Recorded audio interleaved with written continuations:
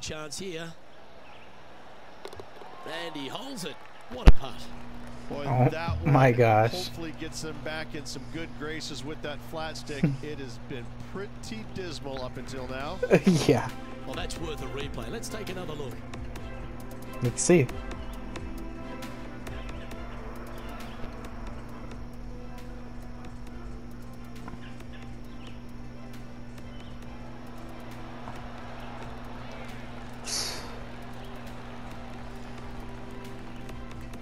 Trailing by seven after that hole.